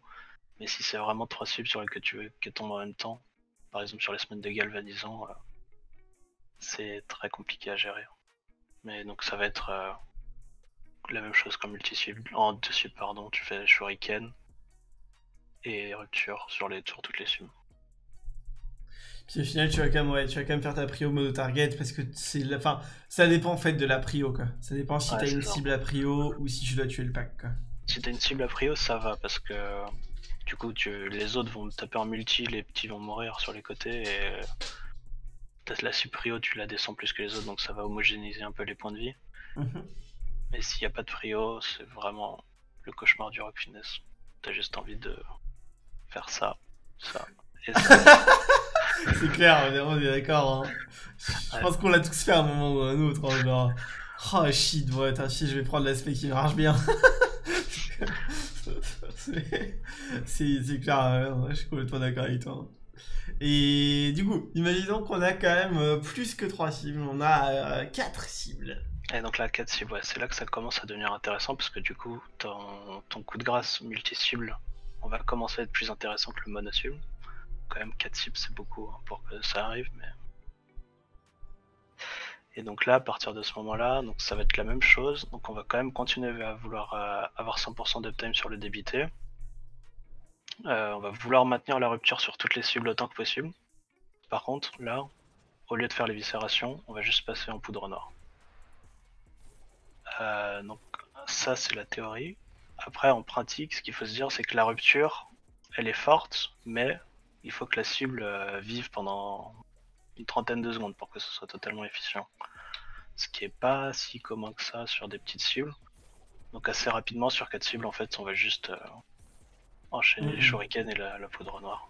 Parce que j'allais te demander, est-ce que tu sais le nombre de secondes euh, de, rupture qui sont nécessaires avant que ce soit rentable, enfin qui déterminent que ça a été rentable d'appliquer cette rupture euh, c'est quasiment la totalité de la durée. Hein. Si on regarde les dégâts entre euh, éviscération et rupture, si, si t'appliques pas. Avec des couverts d'efficace, bien sûr. Ouais, c'est ça. Donc il faut rajouter 30% sur les enfin 50% sur l'éviscération. Mm. Si la cible reste pas vivante au moins les deux tiers, c'était pas rentable de mettre la rupture. Donc euh. Ça c'est ce qui va rendre vraiment le, le voleur compliqué à gérer en multi, c'est que si tu veux le faire de façon optimale, faut vraiment que tu fasses ton interrupteur sur toutes les cibles, mais en même temps sur les petits mobs, faut pas qu'ils meurent pendant la durée. Et le temps d'appliquer rupture sur toutes les cibles, les mobs ont déjà perdu 50% de leur vie, donc ils vont pas vivre pendant toute la durée. C'est assez compliqué à gérer. C'est vrai. Honnêtement, euh, je trouve que justement, enfin moi en tout cas, je prenais pas la peine de faire forcément des ruptures parce que je trouve que la valeur ajoutée en termes de dégâts. Oui, c'est ça. Euh, le temps de switch de cible, tu perds des mêlées, enfin c'est assez rapidement. Euh, tu peux maintenir ta rupture sur la cible principale. Et puis juste faire des, des poudres noires sur toutes les autres pour cleave. Hmm. Ouais, je, trouvais ça plus value et en plus le fait de faire des, des, ruptures sur toutes les cibles, ça te demande du, de traquer, ça te demande du temps de cerveau pour un gain de DPS qui est très limité. Et en fait, ton cerveau il est mieux utilisé typiquement en Mythic Plus sur quel, est le prochain truc qui est important d'interrompre, tu vois. Genre. Euh, je suis totalement d'accord. Après, sur la théorie, c'est plus intéressant de faire des ruptures sur toutes les cibles qui restent en vie, mais dans les faits, on va juste faire poudre noire quasiment tout le temps. Carrément. Donc ça, c'est du 4 cibles et 5 cibles, 6 cibles, etc. Euh, T'arrêtes rupture et juste tu fais des poudres noires, c'est ça? C'est ça. Il me semble que c'est à part... Donc à 5 cibles, on fait même on s'embête plus du tout à faire rupture, c'est plus rentable. Et à partir de 6 cibles, on s'embête même plus avec le débité. C'est vraiment juste euh, spammer poudre noire au maximum. Ok. Donc ça, c'est la multi-cible multi -cible rogue. Euh, et donc après, ouais, si on utilise ce talent, ah oui, oui, d'ailleurs, si on a... Bah, vas-y, explique. c'est très simple, hein, on l'utilise en cooldown. Dès qu'on a les 6 points de combo dessus, on l'utilise. Et puis après, comme euh, il va être réduit par... Euh... de toute façon, on l'utilise en cooldown, dès que, ce soit mono ou multi, c'est mm, mm. dès qu'il est prêt, ça part. Ça fait plus de dégâts qu'éviscération en mono, et ça fait des très très bons dégâts en multi Ouais, donc quoi qu'il arrive, euh, ça c'est tu, utilises en cooldown, donc pas trop de prise de tête à ce niveau-là. Ouais. Ce qui reste un, bon talent, hein. c'est juste que c'est vrai que c'est frustrant de pas avoir cette regain d'énergie, je trouve. Ouais, bah ouais, c'est ça. Si tu commences à avoir des creux parce que t'as pas assez de hâte ou quoi. Euh, et puis tu perds un tout petit peu de dégâts prio, mais je pense que c'est vraiment un bon talent en Magic Plus. Mmh. Mmh, mmh, Ouais, carrément, ouais. C'est vraiment un bon talent. Après, faut, euh, bah, de toute façon, on va y revenir après sur la partie interface. Euh, sur, euh, bah, il faut le traquer, il faut voir quand il revient, sinon bah, tu perds vite de son intérêt, quoi. Ouais. Et, mais ouais, carrément. Donc ça, il... ouais, donc je pense qu'on a fait le tour des, des rotas, des rotas multi du coup. Ça, que quelle que soit la légendaire, au final que tu joues, ça va être la même chose. Ouais, parce que c'est vrai que le, le finalité là, qui te buff tes coups de grâce quand, tu, quand on utilise un. Donc là par exemple si je fais poudre noire pendant 30 secondes, la prochaine poudre noire elle va être augmentée de 25%. Euh, ça peut éventuellement être intéressant de se dire que si tu as une grosse éviscération qui arrive, essayer de claquer les symboles, d'aligner les deux encore une fois, mais faut plus l'avoir en tête que de jouer autour vraiment. Il y, a des cas où tu tournes autour réellement de finalité, toi? Non, je le traque plus euh, mhm. par état d'âme, quoi, mais. Faut pas chercher à jouer autour, je pense qu'encore une fois, tu te prends plus la tête qu'autre chose pour pas grand chose. Ouais. Ouais, c'est vrai que c'est un, aspect, je trouve, qui est, très présent chez le voleur finesse que j'ai pas retrouvé sur d'autres classes vraiment. Cet aspect de, tu sais, tu as plein de trucs que tu peux potentiellement traquer ou faire un petit peu différemment. Mais, et du coup, où tu vas te questionner, mais en réalité, il n'y a pas besoin d'autant se questionner que ça, ça change pas grand chose même. Ouais, clairement. Et puis c'est tellement des situations de niche où que tu n'es même pas sûr qu'elles vont pouvoir se réaliser, ça dépend pas que de toi. C'est pas toujours évident. Hum, hum, hum, carrément, carrément. le but c'est de faire le moins d'erreurs et et, ta gestion du coup des, des stacks de, de danse euh, quand tu es en, bah, du coup, en 4-5 cibles, euh, c'est un peu comme en mono, tu vas faire tes danses symboles en cooldown. Ça, ouais, alors pour le coup, en multi-cible, euh, donc elles vont revenir beaucoup plus rapidement hein, parce que comme tu vas générer beaucoup plus de points de combo, et donc avec ce talent plus le passif de base qui réduit le temps de tes danses à chaque fois que tu dépenses des points de combo, tu, vas, tu peux vraiment avoir un très très gros uptime quand tu commences à avoir 4 ou 5 cibles. Donc là, pour le coup, euh, tu t'embêtes pas, tu les. Moi, je les utilise en boucle. Vraiment. Parce que ça, ça augmente quand même considérablement à chaque fois la, à la fois la régène d'énergie et. Euh, mm, mm, mm. Et les dégâts. Hein. Là, tu vois, par exemple, j'en ai fait une. Euh, sur 3 cibles, déjà, elle est, elle est revenue aux 2 tiers. Donc s'il y avait encore plus de subs, ça serait revenu encore plus rapidement. Et... C'est vrai que ça revient vraiment vite hein, avec le talent hein, sur, euh, sur la danse. Donc la danse en cooldown, euh, sur les 4, 5, 6, même 3 cibles, au final, tu, danse c'est un, cooldown que tu essaies d'avoir un maximum, un maximum up quoi qu'il arrive. quoi. c'est là où il y a tes dégâts de toute façon. Ouais. Ce qu'il faut savoir, c'est que le, symbole de mort euh, fait que ton prochain générateur critique obligatoirement. Mm-hmm. Donc il va appliquer les faiblesses sur tout le monde instantanément. Mm-hmm.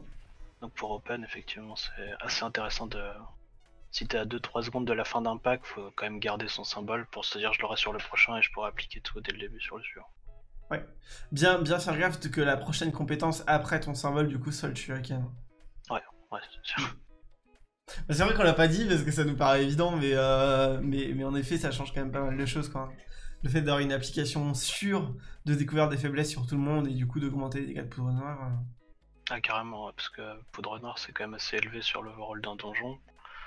Et 50% dessus, c'est pas du tout négligeable. Hein. Surtout qu'on peut monter à plus de 50% comme c'est des dégâts d'ombre et quand tu vas voir Et en plus tu joues ça, bah ouais, carrément. C'est ça, là ça commence à être vraiment très très important d'avoir un maximum de faiblesse sur la, la cible.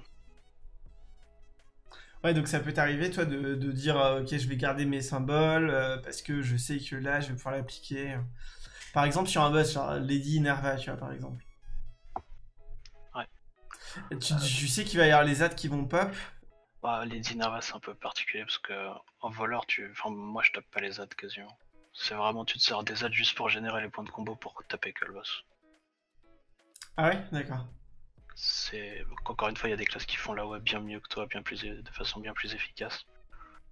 Euh, vaut vraiment mieux se concentrer sur la donne du boss parce que c'est quand même un DPS check assez important. Mhm. Vraiment juste se servir des ads un maximum pour générer des points de combo et taper le boss plutôt que de switch sur les ads. Tu peux essayer de mettre une rupture mais pas plus. Donc là c'est pareil, euh, tu vas rappliquer les logiques qu'on a vues sur le 2-3 cibles quand tu vas faire du, du prio focus, c'est-à-dire que quand tu es en danse plus symbole, tu vas attaquer ténèbres et vie, attaquer ténèbres et vie, et les moments où tu n'es pas sous danse, tu, as, tu vas générer avec tes shuriken, heavy, shuriken, heavy, enfin shuriken débité, shuriken rupture quoi. C'est ça ouais. C'est juste pour euh, générer plus de points de combo, donc réduire plus le CD de ta danse. Et... Euh, la différence de dégâts sur la cible principale entre la tempête de Shuriken et euh, la frappe sournoise, elle est ridicule. Donc le peu de dégâts que tu perds là-dessus sur ta cible principale, tu le compenses largement avec le reste.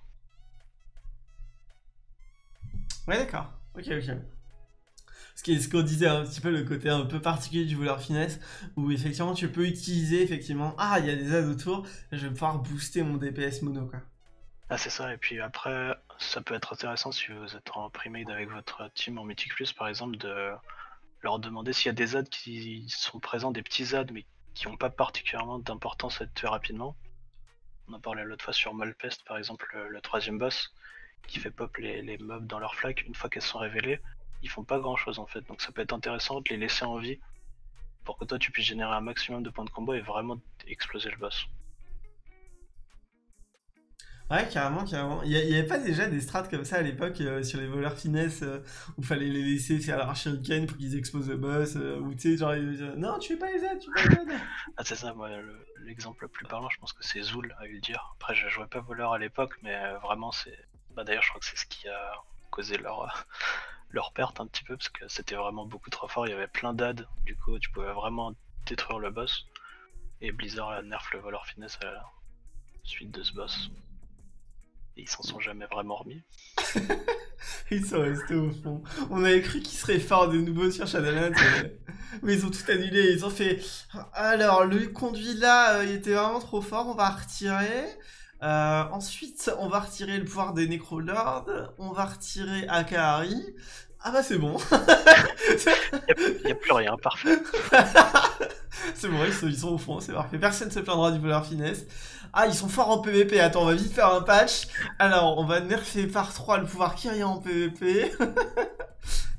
ah bon, bon, bah d'accord, on va très bien. Il n'y aura pas de voleur. ok.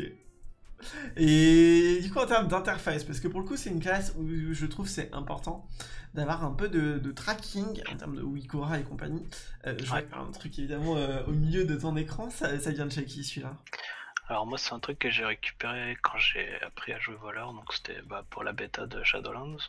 C'était le, le red leader de la guild Pieces, Tadors, qui, jouait, a beaucoup beaucoup joué Rogue Finesse sur la bêta. Je me suis dit autant apprendre des meilleurs. hein. Donc j'ai récupéré sa Wikora à lui. Je, je sais pas. Enfin, je suis pas sûr que ce soit lui qui l'ait fait euh, personnellement. Donc ça va être euh, celle-là. Rogue Afenar, lui. D'accord, ok, c'est Afenar qui lui. euh, ok, il a repris d'Afenar, ça marche. C'est un des Donc, gros euh, créateurs de Wikora. Ouais, ça marche. Donc c'est disponible pour toutes les spés, ça traque tous les légendaires. Encore une fois, c'est les, les fameux packs de Wikora super utiles Mm, mm, mm, qui font tout ce que tu as besoin. J'ai juste rajouté le, le CD pour le- la durée du buff Night Fae, Mhm. pour, euh, parce que sinon j'avais tendance à le perdre. Parce que le buff pendant lequel tu peux utiliser une technique invisible est assez court finalement. C'est vrai. Ouais, si tu rates la vrai. fenêtre, euh, je me suis rajouté une petite jauge pour euh, traquer la durée. D'ailleurs, bah, c'est important de le faire, hein, c'est du minimax, hein, mais c'est vrai que même si tu le fais pas au final, ça change pas. hein. Non, non, non, c'est. Bon, c'est une frappe. Ouais. Mais euh, tac tac tac. Ouais, ça marche, d'accord. Donc du coup, tu utilises un petit Afenar et t'as rajouté ça. T'as pas eu d'autres euh, besoins de rajouter un truc euh, dessus particulier. Non, non, non, bah, c'est vrai que c'est super bien fait, hein, ça fait tout, Mhm. tous les trackings. Je le des- trouve très clean, hein. vraiment, il est, il est vraiment bien. ouais. Il t'indique quand tes, tes sorts que tu as besoin de refresh sont pas up. Et même quand ils sont up, euh, une fois que la durée va s'a- s'approcher de la durée de pandémie, donc euh, pendant lesquelles tu peux le refresh sans Mhm. perdre, Mm, mm. il va commencer Ah, à te ça t'indique aussi. Ouais, il va te le signaler. Oh, c'est solide, me hein, ça fait tout pour toi. hein. Il me semble que c'est un peu tard parce que je, je pense que c'est plutôt que ça. Ah, bah, pandémie, c'était déjà passé depuis un moment. là. C'est ça. Et donc Ah là, ouais. il, il met un, peu- un peu tard sur celui-là, mais sur le débité, Sur- c'est plus. Sur rupture, c'est 10 secondes, un truc comme ça. Ouais, ou ouais, 9 ou 10, un truc comme ça, mais ouais. 9 ou 10. là, il met Je- plutôt à 3 ou 4. Enfin, de toute façon, c'est 30% de la durée, donc ça, le calcul se fait vite hein, à partir de la Ouais. durée. Je les connaissais par cœur quand je jouais. Mais... Mais ouais, d'avoir un petit rappel visuel que ça te permet de pas l'oublier. Hum, hum. Ça doit d'ailleurs- ça doit d'ailleurs pouvoir se modifier, je pense, si tu rentres à la main. Oui, oui, bah oui. Et tu sais, Pareil. Euh, bah, tous les CD, que ce soit le, le débité, il va te les afficher quand ils sont en cooldown. Ton cut. euh, a- ça, ça traque vraiment toutes les techniques dont tu peux avoir besoin. Ah, c'est nice. hein. Ah, elle est vraiment propre. Et oui, du coup, il y avait aussi ce truc de la technique, euh, technique des ombres que tu avais rajouté pour voir. euh, pour voir euh, Ça, c'est un Wikora qui vient de chez Ravenol? Euh, non, non, bah, il était avec le pack en fait. Ah ouais? Solide. C'est pour ça, moi, je jouais pas du tout voleur finesse avant le, la bêta de Shadowlands, donc ce, ce truc-là pour apprendre à jouer, comme ça fait tout, bah, c'est plutôt pratique. Ah, carrément, putain, c'est super bien qu'il ait même pensé à rajouter ça dessus.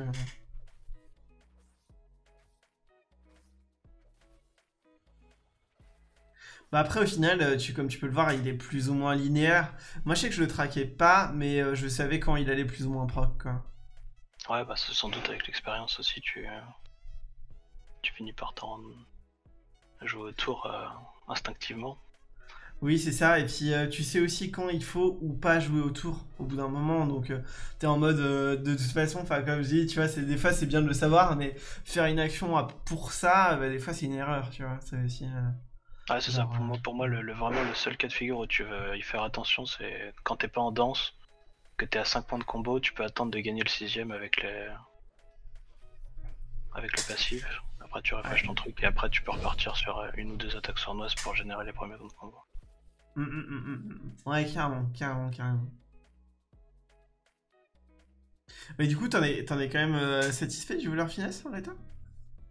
Pardon, euh... ah, c'est- bah, parce que moi, je, avant, je jouais DH. Et donc, euh, pour Shadowlands, j'ai dû changer de classe. Et je pense que si j'avais le choix à faire aujourd'hui, j'aurais pas pris Rogue Finesse. Ah shit. Mais En bon, plus, c'est je t'ai vu faire tes logs en, en orange partout et tout. Je me suis dit, oh, il est trop déter, euh, il continue avec le voleur finesse. Après, c'est vrai que c'est quand même euh, intéressant à jouer, mais bon, c'est vrai que c'est assez frustrant sur, voilà, sur les cas de figure, euh, les, les dispositions de combat où t'es en dessous, tu peux faire ce que tu veux, tu resteras en dessous, quoi. En fait, moi, ce que je trouvais super frustrant, euh, en mono-cible, un chasseur précis, genre au pool, alors que nous on burst, hein, il est quand même devant nous. Ah, c'est ça en plus, c'est que c'est censé être une spé burst, mais ton CD 3 minutes, et bah, ils en parlaient sur Ravenhold encore une fois, c'est très très faible pour un CD 3 minutes les lames de l'ombre. Hum, hum, hum, le, gain de DPS est pas monstrueux, enfin comme tu dis, vraiment au pool, bah, quand tu regardes les logs sur les, les 30 premières secondes, bah t'es dernier en fait en vitesse. Ouais et alors que t'as une spé où tu sais ton burst en fait. Et tu suis en mode, mais si ma classe burst mono-cible, en plus mono-cible bordel, elle est même pas forte en mono-cible en burst, il me reste quoi? C'est ça. Après, le, seul avantage, tu compenses en ayant un burst toutes les 30 secondes. Donc euh, là où les gens n'ont plus rien, bah toi tu vas remonter. Mais c'est vrai que se faire détruire comme ça alors que tu, remontes, mais en même temps, après, t'as un, as un sacré creux quand t'as pas ta danse et t'as pas ton symbole. Hein, donc, euh. mais d'une manière générale, j'ai l'impression que sur Shadowlands, il y a quand même plus de classes qui tournent autour de leur burst. Ah que ça a pu être le cas par le passé. Du coup, bah, les autres, ils vont tous être en creux et toi, tu commences à remonter dès tes 30 secondes. Mm, mm. C'est vrai. Ah oui, oui, complètement.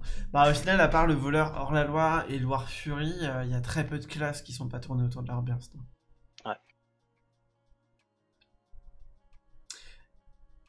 Et, du coup, j'avais une autre partie, évidemment, qui est une partie importante sur le voleur, parce que pour le coup, j'ai aussi vu que tu avais quelques trucs là-dessus.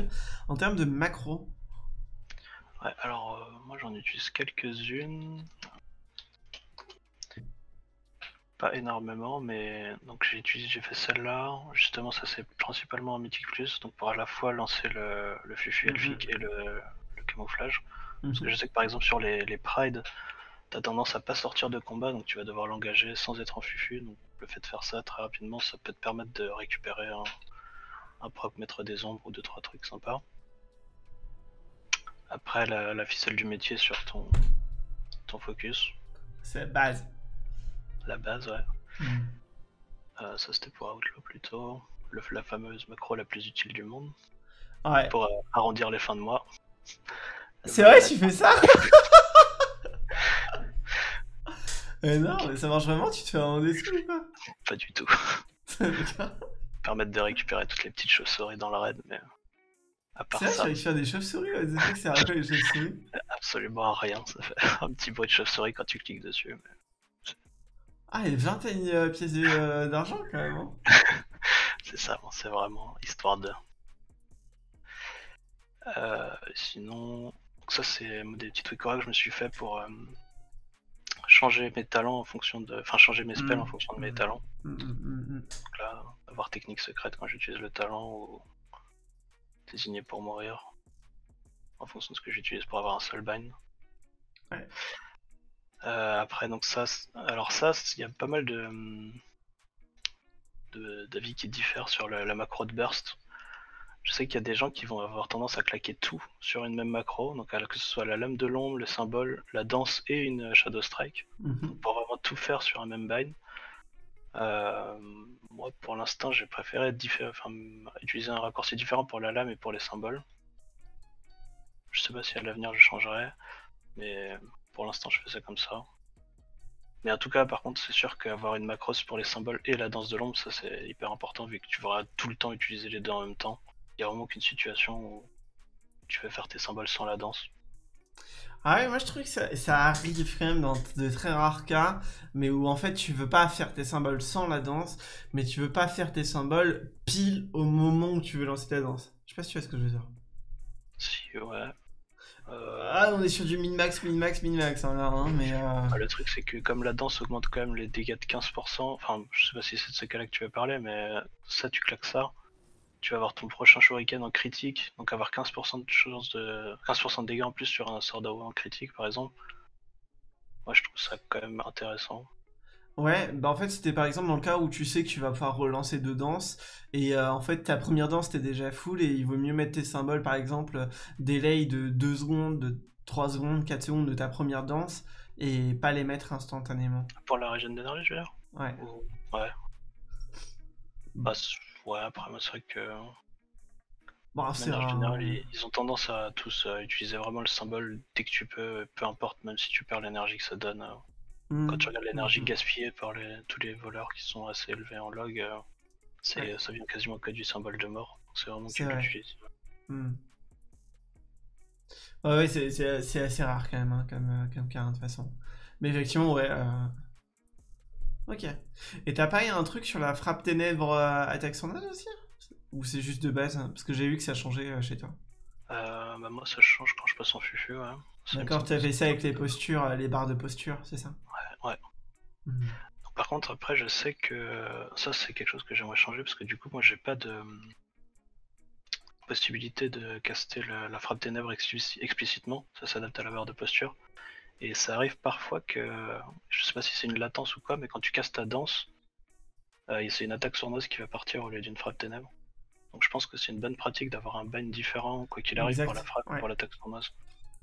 Euh, alors, il y a un truc comme ça, au niveau des barres de posture, que j'ai vu que moi, j'avais pas quand j'utilisais la macro, justement.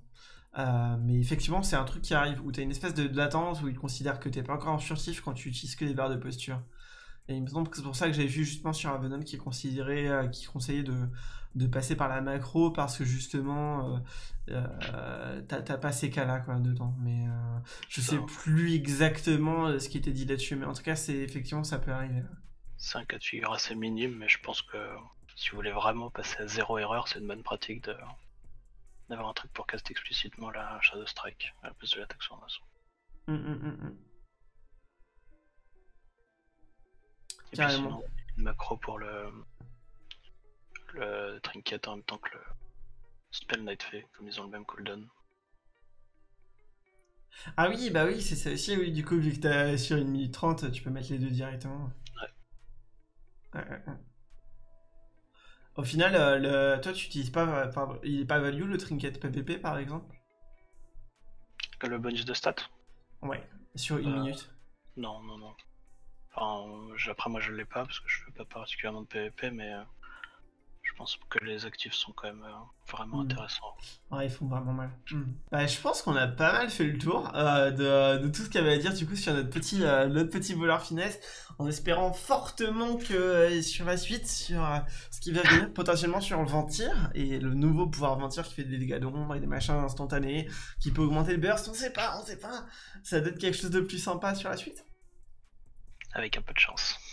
Par contre, il est vrai, enfin, je sais pas, justement, toi, ton ressenti, tu, tu vas me dire, je trouve que, pour le coup, par exemple, en mono, moi, c'est une DSP, ou c'est même d'ailleurs l'aspect que je préfère jouer en mono. Je la trouve vraiment très kiffante à jouer en mono. Je, je sais pas ce que t'en Ah ouais, ouais, c'est vraiment intéressant. Parce que comme, comme moi je te disais tout à l'heure, je jouais DH avant, c'est pas la même chose en termes de gameplay quoi. T'as beaucoup plus de trucs à penser en rogue. C'est plus fun à jouer. Y a pas de souci là-dessus. Ouais, ouais c'est vrai que c'est vraiment fun. C'est- quand j'ai, bah, pareil, quand j'ai revu là, je suis oh putain, j'ai envie de reprendre mon voleur finesse là. c'est. non, mais c'est vrai que c'est marrant, quoi. c'est vraiment marrant à jouer. En plus, tu, pour le coup, tu t'en sors pas trop mal, je trouve. hein. Même par rapport à tes potes. Alors, sur les premiers boss, hein, évidemment, sur le conseil, ça sera pas le cas. Mais. euh, Sur, sur euh, ben voilà, le destroyer, l'artificier, euh, sur ce genre de boss où, euh, où au final, euh, en mono, tu peux quand même faire des trucs, quoi. Et puis même le conseil, au final, le fait d'avoir trois cibles en permanence, euh, mais avec une seule que tu veux taper, bah toi tu, peux, tu vas pouvoir bénéficier vachement de tes shurikens Mm. pour, pour taper le boss la cible principale, et au final, euh, on s'en sort pas si mal que ça, je trouve. Puis pareil avec le, le fait de le, le double CD symbole plus dense, qui vont te donner une super bonne fenêtre de dégâts pour switch sur les domestiques.